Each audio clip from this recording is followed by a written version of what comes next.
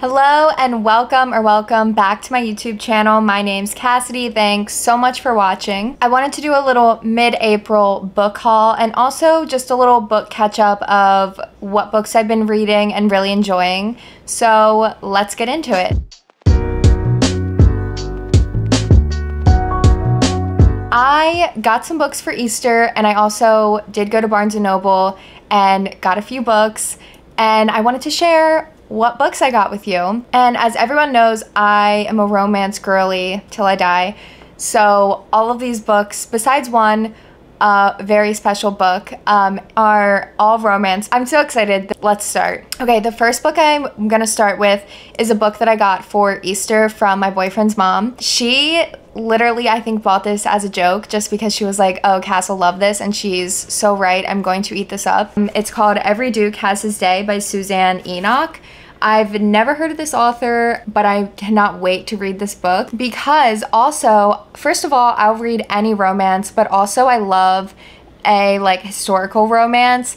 And something about this like time period of like the dukes and whatever I mean, I've read the Bridgerton books, I've watched the Bridgerton show, and first of all, I'm so excited for the new season of Bridgerton, and this book is just giving Bridgerton and like really filling my Bridgerton needs until the new season comes out. There seems to be a lot going on in this book, but it basically follows a duke and the third daughter of a viscount. And there's an accidental dog swap in this park between the duke's aunt's dog that he's watching and the viscount's daughter, Bitsy, her dog. And also, she's the diamond of the season, which I eat that right up. And okay, apparently, with in the dog swap, someone kidnaps the wrong dog. Like, I don't know. There seems to be a lot going on, but there's a kidnapping of one of the dogs. And so the Duke and Bitsy are like working together to get the dog back. I don't know. I can't wait to read it. So excited for this book. Okay, next up, I got Into the Dark, Magnolia Parks, the fifth book in the series. And I, okay, I read all of the other four books of the Magnolia Parks universe and I wasn't like in love with them. I felt like, I mean, there was a lot of hype around these books. Like everyone on BookTok was eating them up. And I get it, like they're very much, if you don't know what it's about, it's like very Gossip Girl, but like set in London.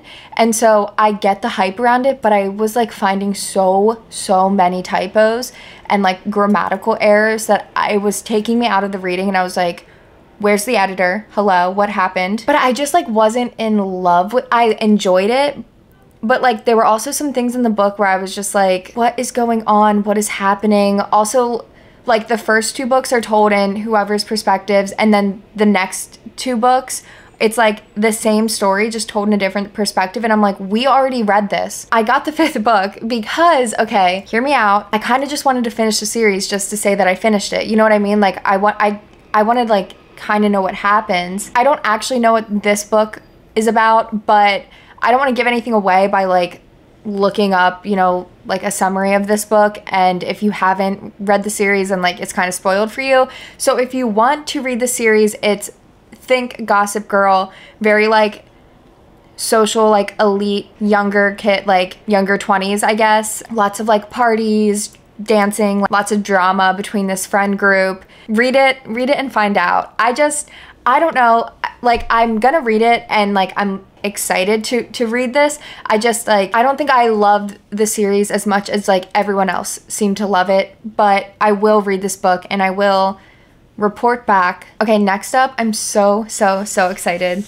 It's Done and Dusted and Swift and Saddled.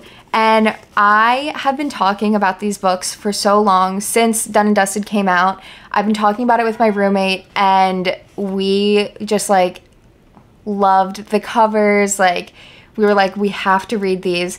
And if there's one thing about me, I love a cowboy romance. Like, love, love, love. I started reading them this summer, and everyone thought I was crazy, and they were like, what is wrong with you for reading a cowboy romance? Like, what kind of books are you reading? And I stand by it. I love a cowboy romance. And also, my boyfriend's mom also got me these books, and she literally said that when she bought them in the bookstore, she had to tell the lady that like checked her out, like, these aren't for me.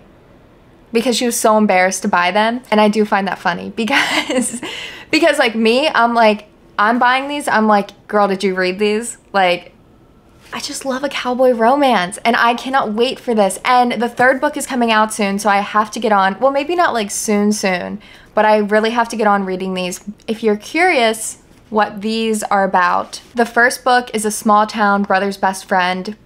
Already, brother's best friend obsessed. Clementine or Emmy Ryder has moved away from her hometown. She went to college. She's made a career for herself riding horses, but then she gets in an accident and she can't ride horses anymore and she has to come home.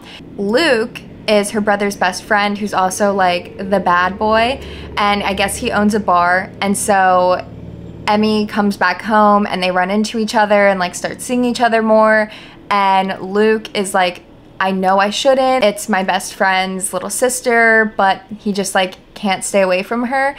And I cannot wait to read this. I'm literally so excited. I it might be my next read. I just like I've been looking forward to this book for so long that I think it's time. You know the sound clip that's like it's time, Mariah Carey. That's how I feel right now. I think the second book follows Emmy's brother and his name is Weston and Ada and Ada like comes into town because she's doing some sort of project for a ranch in this town and when she gets into town she goes to the dive bar and sees Weston and I guess things heat up. I I feel like I can't really talk about this book too much because I don't really know like the characters or this world yet. I feel like I'm going to absolutely eat up this series, but I cannot wait. I'm so excited. Okay, this next book is Bridesmaid for Hire by Meghan Quinn, which if I'm being totally honest, I already read. I was so excited.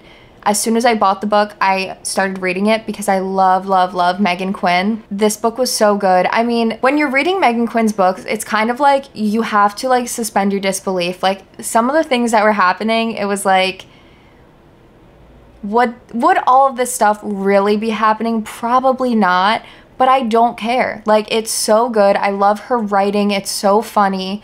All of her books are just like hilarious. I read um, the Vancouver Agitator series of hers, and it was so good. Like, I loved her writing style with the group of like the guy friends, like how they interacted and talked to each other was so funny.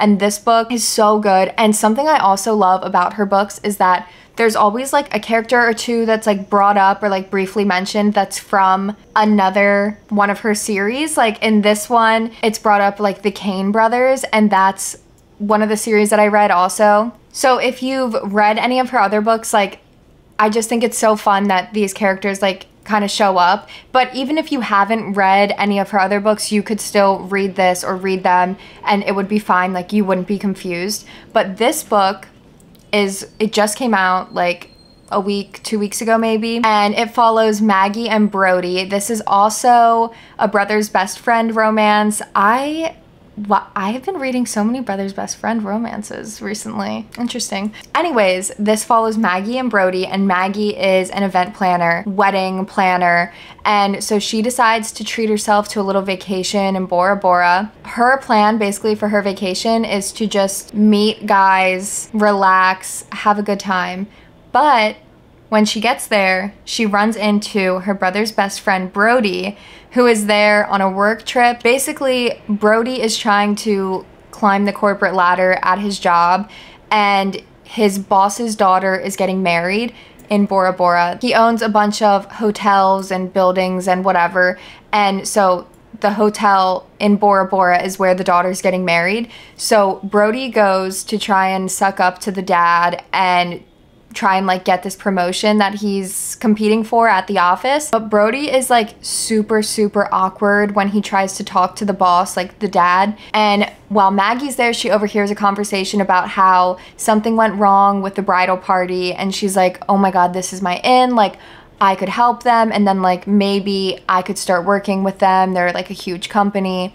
So she decides to pretend to be Brody's girlfriend to worm her way into this wedding and kind of help Brody out because he's like really fumbling. Like he's not doing well with trying to talk to the family. Maggie ends up being a bridesmaid in the wedding, and so now her and Brody are like forced to hang out with the family for the 10 days that they're there. And there's just so many things that happen. Like, I just, I can't even describe because I don't want to give anything away, but it's so funny. Like, the stuff that happens. Maggie and Brody, I love their banter. Like, I love, I just like love how they interact with each other and they're like, oh, like I hate the other person, but like obviously they don't. It's just so good. If you're looking for just like a light, easy read, the weather's getting warmer. Like it's like the perfect beach read, honestly. It's so good. Okay, the next book I got is One Day by David Nicholls. If you haven't heard of One Day, it was originally obviously the book, but then it was a movie with Anne Hathaway and then it got made into a TV show. I watched the show I never watched the movie, but I watched the show a few weeks ago by myself and I was obsessed with it. And then I watched it again with my roommate and we were like, oh my God, we have to get the book. The show was so good. It kind of reminded me of normal people in a sense because it's like they meet and then it it's kind of like just showing like years of their lives that go by and like they're not together then they are and like it was kind of giving normal people but honest as much as I love love love normal people I really liked that one day was like over 20 years and so you see so much of their lives. And so I'm excited to read the book and see like more, even more details of like maybe what the show missed out on. But this follows Dexter and Emma. They meet at the very end of college and kind of have like a one night romance and then don't really talk. This is also in the 80s, like it starts in the 80s. So there's also kind of that like like it's not like they're like having cell phones and like texting each other. Like they met for the night and then like they went for a while without seeing each other. They meet back up and they become like really good friends, like best friends, but there's always kind of like something there like romantically. It's just like how they weave in and out of each other's lives and like through family problems and through like all the things that happen in life and like how they just are always there for each other and there is romance. It's so heartbreaking and so good. I'm so excited to to read the book again to like feel all of those emotions again but like see it on paper and I just I really really loved it. So I cannot wait to read the book. Also though I will say I kind of don't like that it's written by a man. I don't really read um, romances written by a man, but I do have good hopes for this book. Okay, the last book I got is super super exciting. It's called Rabbit Heart, and it's by Kristine Ervin, who was actually, or was, my professor in college. I knew that this book was coming out um, because I was one of the first people she told. But no, it's so exciting. This is a memoir. I'm just so happy and proud of her and like excited that she gets to share her writing with the world. And also, this book, like, it's been kind of crazy. Like, the New York Times wrote about it. Um, Oprah like included it with her favorite book picks. Like it's getting a lot of traction as it should, like rightfully so. This is a memoir about Kristine's mother who was murdered and kind of like the grief of processing this. This book is just so much wrapped up into one a child reckoning with grief and what it means to lose their mom, but also what it means to be a woman and what it means to be an adult still grappling with this. A daughter who wants to write and not stay silent about the violence that happened. And I just am so like happy that she's chosen to share her work with us. I got to hear the end of this two years ago before obviously before it was published because this just came out. And it was just so like beautiful to be able to hear her words before other people got to hear them. And I'm just so proud. And it's just so cool that I can be like I know her. Like she did that. And I think everyone should read this. It's truly such a beautiful piece of work. And I'm so proud of her Okay, now on to the book that I'm currently reading, or actually I just finished it last night, so that's kind of a lie.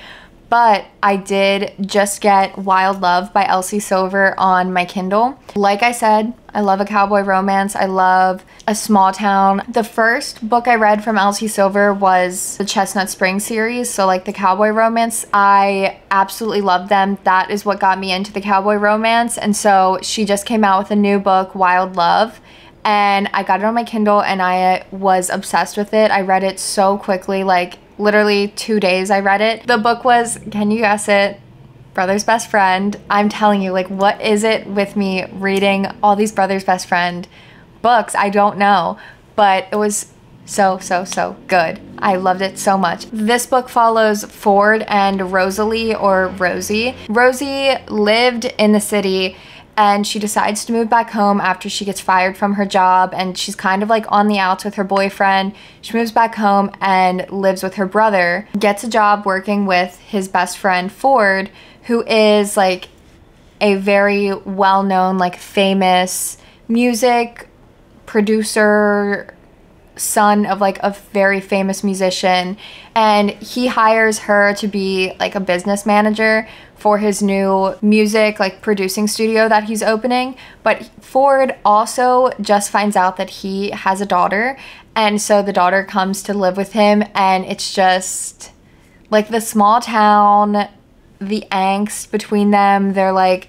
of course like I feel like with Brother's Best Friend, it's always like, oh, we hate each other. Like, they really don't. But that's how this one is too. Like, they're like, oh, like, yeah, we just like act like we hate each other. Like, they joke around all the time. They like throw digs at each other, but then like they really love each other. I can't wait for the second book. Also, Elsie Silver does the thing where she includes like characters that you've read in other books. So, like, Ford's sister, Willa, she had a whole book about her. And so again, like you don't need to read the other books to understand, like you're not missing out on anything. But if you did read the books and you're like, oh my God, it's so and so, like that's so cool. And so I think that's so fun that it's like this whole universe wrapped together. Like I said, the second book comes out, I think this summer, September maybe. And so I'll be patiently waiting for that. I guess that wraps up my book haul and my current read. So thanks so much for watching. Let me know if you've read any of these books or if you want to read any of them, and I'll see you in the next one. Bye!